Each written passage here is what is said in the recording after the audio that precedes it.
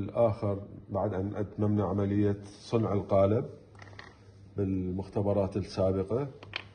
آه، طبعا اكو طريقتين الطريقة لوكهارد method بهذا الشكل وطريقة الكاسيت اللي راح تأخذوها أيضا آه، للحصول على كاسيت بشكل آخر. قلنا هذه الشيئين أو هذا الشكلين آه، اعتمادا على type of microtome أو جهاز التقطيع اللي يستخدم وهذا موجود بالمختبرات بأشكال مختلفة. إحنا بالمختبر هذا عندنا عندنا الشكل الروتيني اللي هو rotary microtome يسمى جهاز ال microtome. وبمختبرنا أكو شكلين هذا شكل وأكو شكل آخر أيضا راح نعطيكم صورة عنه. والفروقات بسيطة جدا وآلية العمل هي واحدة. This is the microtome جهاز المقطاع الدقيق. مايكرو يعني أجزاء صغيرة جدا. tome مقطع أو جهاز تقطيع يسمى rotary microtome. ليش يسمى rotary؟ دوار اعتمادا على آلية التدوير هذه اللي يعمل بها هذا الجهاز. عملية ميكانيكية. هذا الجهاز عبارة عن مجموعة من الدشالي الأجزاء الداخلية اللي جوا موجودة عجلات مسننة. ومرتبطة مع بعضها تعطينا آلية للحصول على آه، تقطيع دقيق. آلية التقطيع شنو هي؟ بالنسبة لهذا النوع من الأجهزة هو أنه الجزء هذا الجزء اللي يسمى block carrier أو block holder هذا اللي جاي يصعد وينزل. عملية صعود ونزول صعود ونزول فقط بمكان واحد يبقى آليته أنه يبقى يصعد وينزل في نفس المكان. راح أشرح الأجزاء الداخلية أو الأجزاء العامة لجهاز ال microtome وآلية العمل لاحقا. يتكون هذا الجهاز من body of ال microtome هذا ال body اللي يحفظ العجلات المسننة اللي موجودة بالداخل ويجب أن آه، دائما آه، تزيت وتنظف باستمرار وهذا مجرد enclosure أو cover. الجزء الآخر اللي موجود هو base of the microtome هذا base قاعدة ال microtome وتكون ثقيلة وزنها تقريبا 26 كيلو. هذه حتى تحافظ على استقرارية الجهاز وعدم تحركه آه، في مكانه ويبقى في مكان ثابت دائما. آه، هذا الجزء هذا الجزء الدوار يسمى fly wheel fly wheel أو الدولاب الدوار.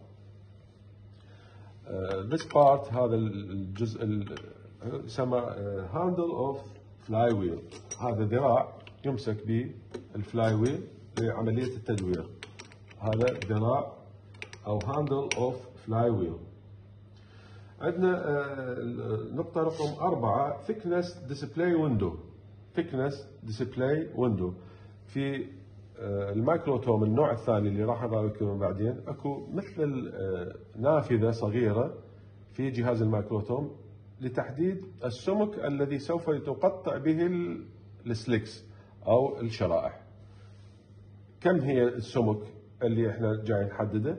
هنا أكو نافذة صغيرة، في هذا الجهاز لا توجد هذه النافذة، موجودة في الجهاز الآخر اللي آه، راح نراويكم صورة له وأيضا موجود في مختبرنا.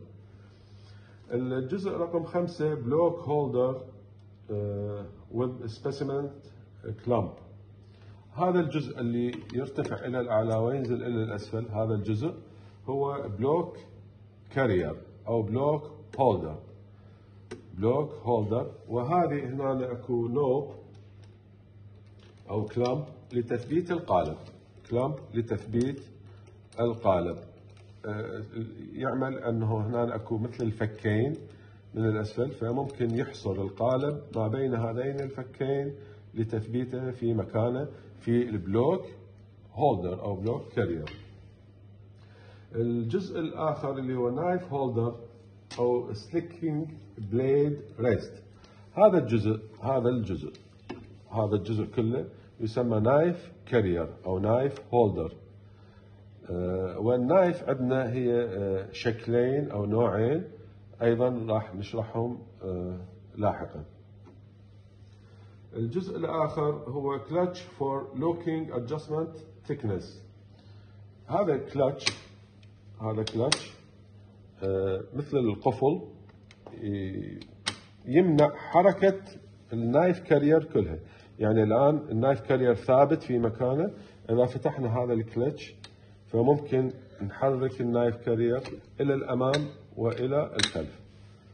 وهذه أيضا أثناء عملية التقطيع راح نشرحها بالتفصيل شنو فائدة هذه الآلية اللي هي لتقريب ال knife carrier أو ال knife holder إلى القالب. نقربه ونبعده حتى لا تصير عملية التقطيع useless أو غير